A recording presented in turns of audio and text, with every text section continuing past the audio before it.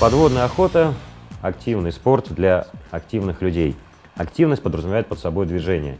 Сейчас мы поговорим о двигателе подводного охотника или о ластах.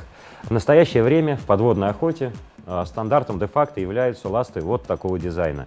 То есть это изготовленная из резины или какого-то компаунда галоша, так называемого закрытого типа, и сменная лопасть, достаточно длинная, лопасть, в зависимости от вида ласт, от их стоимости, может быть изготовлена из разных материалов. Это могут быть какие-то технополимеры, либо композитные материалы, такие как карбон или материалы на основе стекловолокна, так называемого фибергласса. Почему для подводной охоты не подходят продающиеся десятками тысяч по всему миру популярные ласты для дайвинга? Прежде всего это связано с тем, что ласты для дайвинга имеют так называемую галошу открытого типа. Галоша, если вы видели, в которую вставляется нога в ботинке, либо босая нога, и у которой сзади находится ремешок. А ласты с такой галошей, они, во-первых, э, не смогут обеспечить достаточной эффективности грибка, просто хотя бы потому, что а, нога ныряльщика внутри галоши будет постоянно рыскать, и большое количество э, энергии будет теряться именно в момент передачи самого усилия от ноги ныряльщика к галоше и от нее к лопасти. Это раз. Далее, галоши открытого типа достаточно сильно шумят, пузырят, что пугают рыбы. И э, упомянутые мною э, ремни регулировочные будут постоянно цепляться за траву, что не есть очень большая проблема, а лишь небольшой дискомфорт. Но если они зацепятся за какой-нибудь обрывок рыболовной сети, который может быть э, легко подбит течением куда-нибудь там, к подводной коряге или каким-нибудь подводным камням, это может привести к очень серьезным последствиям. Итак, классические охотничьи ласты. Сейчас я демонстрирую вам классическую охотничью ласту нижнего ценового диапазона. Она называется Омер Millennium. Она имеет лопасть с э, направляющими ребрами. Эти ребра предназначены для того, чтобы э, удерживать лопасть во время грибка, чтобы она не, не сваливалась с потока воды в сторону и удерживает движение ноги охотника в одной плоскости. Итак, это лопасть сменная и галоша.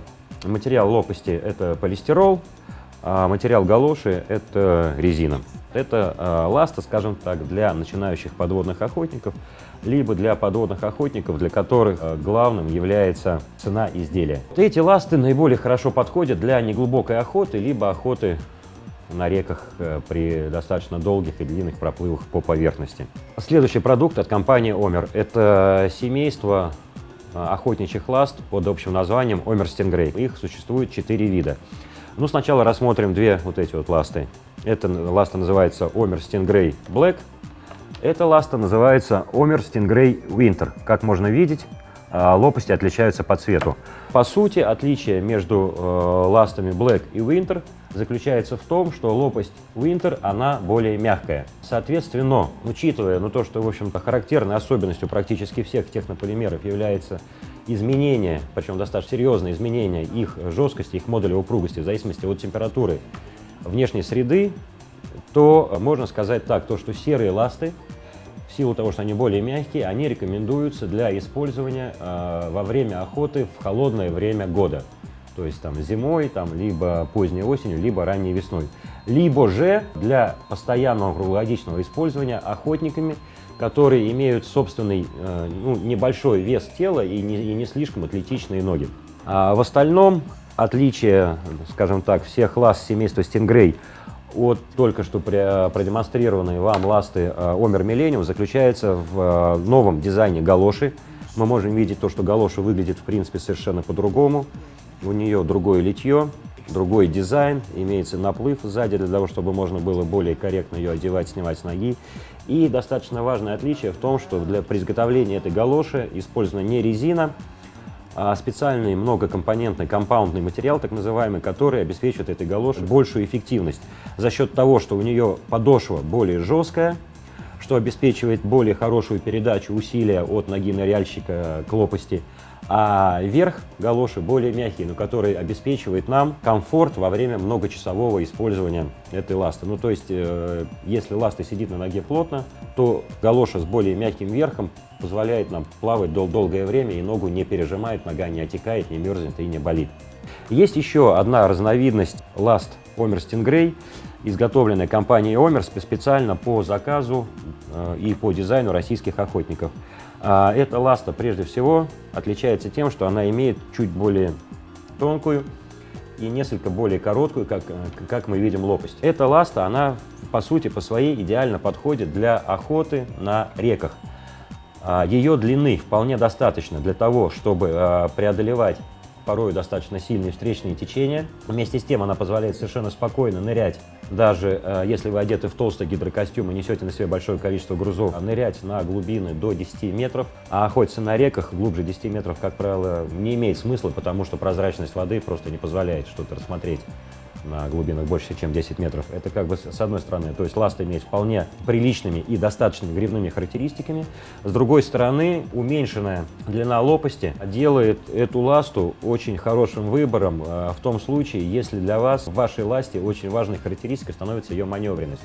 То есть, если вы вынуждены во время охоты заходить в заросли камыша, в заросли водорослей, либо вести охоту в нагромождениях затонувших деревьев или коряк и так далее. Как бы это ни было обидно, наверное, потому что всем хочется стрелять рыбу в прозрачной чистой водичке, но самые крупные трофеи, искомые российскими охотниками, такие как сазан, судак, сом, они, как правило, прячутся все-таки в нагромождениях каких-то подводных коряк. И куда нам приходится э, в их поисках заходить? Когда мы охотимся в таких местах, короткая лопасть – это несомненное преимущество. И э, что еще можно сказать, что по стоимости э, Last Omer Stingray Short ну, почти в два раза должна быть дешевле стандартного Omer Stingray, то есть тоже достаточно хороший такой плюс. И такой, скажем, условно-премиальный вариант Last Omer Stingray – это Last Omer Stingray Camu 3D. Как можно видеть, на э, ее лопасть с обоих сторон нанесен специально разработанный компанией Omersap, так называемый 3D-камуфляж, который представляет из себя фотокопию наиболее часто встречающихся на дне холодных водоемов паттернов, таких, как видим тут камушки, травка и так далее, и так далее. Ну и, в принципе, предполагается то, что э, такая лопасть в купе с, с использованием камуфляжного костюма сделает охотника практически невидимым. По жесткости эта лопасть э, находится примерно посередине между стандартной черной лопастью и мягкой серой лопастью что, соответственно, наверное, позволит рекомендовать эти ласты как достаточно неплохой выбор для охотника, который собирается поздней весной или ранней осенью пострелять горбыля или каракоза на Черном море. Теперь я хочу рассказать вам о ластах премиального класса, которые также выпускаются под брендом Омер. Премиальность их заключается в том, что в этих ластах использована лопасть из высокотехнологичного э, материала под названием карбон, изготовлена на основе углеволокна. А особенность этого материала является его э, высочайший модуль упругости, то есть способность накапливать и без потерь передавать внешней среде э, энергию упругих деформаций, которую ныряльщик порождает мышечными усилиями своей ноги, потом передает галоши, потом передает лопасти, и лопасть уже отдает в воде. Для сравнения я, я могу взять и показать, как работает. Работает, значит, э, находится в состоянии упругости, а потом выходит из этого состояния. А, ласта с лопастью Омер Millennium. Вот я сгибаю ее, что достаточно сложно, и отпускаю. Смотрим, да? Присутствует некий такой эффект памяти, потому что лопасть постепенно довелась. Теперь я беру самую мягкую из имеющихся э, лопасть Омерсти Stingray Carbon 25. Сгибаю ее так, как хочу. О, выскочила. И отпускаю. Видим то, что ласты работают принципиально по-другому. Только карбоновые лопасти могут позволить вам без, без особого риска и с достаточным уровнем комфорта э, долгое время работать на глубинах, превышающих 30 метров. А, полистироловые лопасти или лопасти из технополимера, они, несмотря на все уверения, как правило, не могут позволить вам надлежащего уровня безопасности, хотя бы потому, что при увеличении внешнего давления у, у технополимера увеличивается его текучесть, и ласты начинают просто хуже грести. С карбоном этого не происходит. Галоша та же самая, что и у предыдущего вида ласт, это стандартная галоша Омер Stingray. Лопасти, как мы видим, сделаны из другого материала. Хорошо видна ячеистая структура карбона, как мы можем видеть, на, на карбоновых лопастях в силу ряда технических особенностей отсутствуют продольные гребни, которые я вам продемонстрировал на предыдущих моделях лаз, таких как Millennium и Omer Stingray. Но для того, чтобы карбон, который имеет плоскую лопасть, не соскальзывал с потока, на нем всегда устанавливается отбортовка или так называемый рейл который при грибке, опять-таки, удерживает лопасть от соскальзывания с потока. Он находится на одной стороне лопасти и, соответственно, на другой стороне лопасти тоже. лопасти Омер Карбон Stingray имеют три степени жесткости. Сейчас я в руках держу э, ласту Омер Stingray Carbon 25. Это средняя степень жесткости. Более мягкие ласты имеют индекс 20, более жесткие ласты имеют индекс 30. Подводный охотник с весом до 75-78 килограмм должен использовать э, ласты Омер Carbon 20. Подводный охотник с весом до 92-95 килограмм должен использовать ласт Омер Карбон 25. И крупные атлетичные подводные охотники могут использовать э, самые жесткие лопасти Омер Карбон 30. И существует еще такая вот камуфлированная версия ласт Omer Stingray Carbonio. Она называется Omer Stingray Carbonio Camu 3D. То есть это та же самая карбоновая лопасть, только с нанесенным на нее цветовым паттерном, который камуфлирует эту лопасть в воде. Паттерн нанесен как на внутреннюю сторону ласт, так и на внешнюю сторону. На внешней стороне же мы видим индикацию цифровую, которая определяет жесткость этих ласт. В данном случае это Omer Carbon 25, то есть камуфлированная карбоновая ласта средней жесткости. Сейчас я держу в руках очередной новаторский продукт от компании Sparasap. Трудно сказать, будет ли у него какое-то коммерчески успешное будущее, но то, что это продукт очень необычный и, несомненно, привлекающий внимание целым рядом своих новаций, это совершенно точно. Сначала я расскажу некую такую предысторию. До, до этого я достаточно много говорил о том, что эта лопасть более эффективная, эта лопасть менее эффективная и так далее это не совсем верная постановка вопроса. На самом деле эффективность ласты э, нельзя оценивать отдельно саму по себе. Необходимо целиком оценивать эффективность такой энергопреобразующей системы, которая состоит из ныряльщика, охотника, ласты, которая в свою очередь состоит из галоши и сочлененной с ней лопасти, и уже непосредственно воды. И надо понимать, что э, эффективность этой системы будет тем э, выше, чем меньше потерь энергии будет происходить на промежутке от ноги ныряльщика до кончика лопасти, который непосредственно передает э, накопленную энергию э, упругих деформаций в воде. В принципе, сейчас ситуация такова, что самые большие потери энергии приходятся именно на галошу.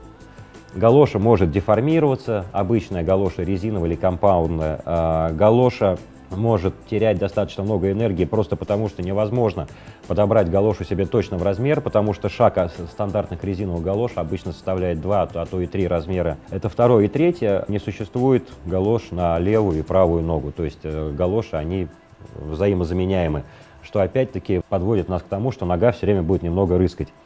В данном случае для Last Sparasap Revolution э, дизайнеры из компании Sparasap изобрели совершенно отдельный вид обуви. Это такой своего рода кроссовок, который имеет абсолютно жесткую подошву, изготовленную из специального пластика Грайвери, который э, раньше шел на изготовление головных частей у самых дорогих подводных оружий. Верх сделан из значительно более мягкого э, полимера и имеется три застежки велкро, как мы видим. Соответственно, что мы получаем? Используя такой ботинок, мы можем подобрать себе размер галоши, точно размер в размер, что уменьшает потери энергии. Далее, э, абсолютно жесткая подошва не деформируется при грибке. Соответственно, мы не тратим э, энергию нашей ноги на деформацию галоши, а всю энергию передаем лопасти. И э, очень мягкий и комфортный верх галоши дает нам возможность использовать эту ласту в течение многочасовой охоты без, без малейшего риска того, что галоша либо натрет нам ногу, либо пережмет сосуды и нога начнет неметь, либо причинит какие-то другие неприятности. Здесь есть достаточно большое количество дренажных отверстий, через которые вода будет вытекать, ну то есть эти ласты достаточно быстро сохнут. Если мы посмотрим вот так, мы видим здесь угол определенный. Величина этого угла составляет 27 градусов. Типичный угол для массовых ласт составляет 15-17 градусов. Вот. Э, в принципе, есть в общем-то, такое понимание, что чем больше угол в комлевой части лопасти, тем больше эта ласта предназначена для работы именно в толще воды, а не для долгой работы при гребле по поверхности. То есть, когда мы смотрим на ласту Sporasub Revolution и видим ее угол 27 градусов, мы делаем вывод о том, что эта ласта предназначенная для бескомпромиссных глубоких нырков или активного поиска рыбы в толще воды, там, такого у, у типа как Blue Water Hunting, предположим, там, либо долгих-долгих проплывов вдоль каменных гряд. Если присмотреться, мы увидим здесь а, три направляющих гребня. Эти гребни также предназначены для того, чтобы стабилизировать движение ласты в потоке и уменьшить э, вероятность соскальзывания ласты при мощном кикинге, при мощном грибке с потока в сторону и увеличить эффективность этой ласты.